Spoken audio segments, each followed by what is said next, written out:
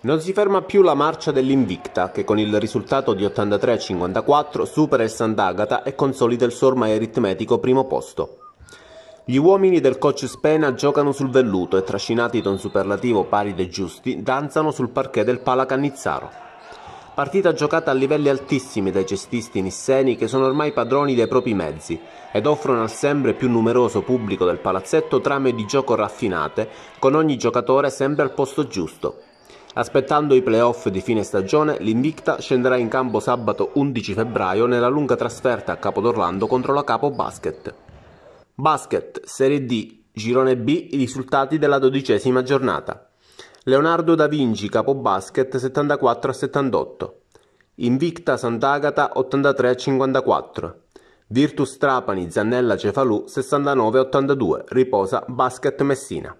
La classifica. Invicta 20. Capo Basket Zannella Cefalù 14, Sant'Agata 10, Leonardo da Vinci 6, Virtus Trapani 4, Basket Messina 2. La matematica ci dà ragione, siamo primi, ancora non, non ci sentiamo appagati e lavoreremo giorno dopo giorno, allenamento dopo allenamento, anche perché partite facili non ce n'è. Si è visto stasera, i primi due quarti eravamo ancora punto a punto si può dire, abbiamo chiuso sopra di 10 ma nella pallacanestro 10 punti sono un attimo recuperarli. Eh, noi pensiamo ad allenarci e pensiamo che le prossime partite saranno dure e difficili in previsione dei playoff.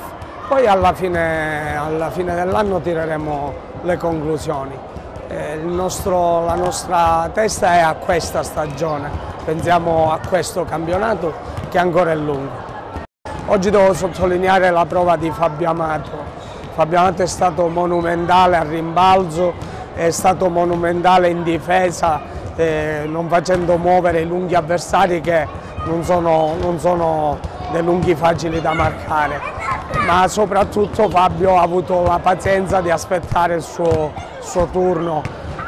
Non ultima la partita a Cefalù non ha toccato campo, è ritornato ad allenarsi con voglia e grinda e questa sera ha dimostrato a tutti che c'è.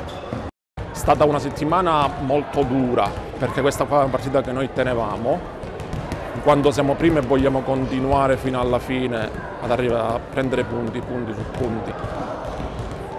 Per fortuna abbiamo giocato bene, anche se all'inizio eravamo un pochettino fermi, però abbiamo fatto squadra e siamo andati avanti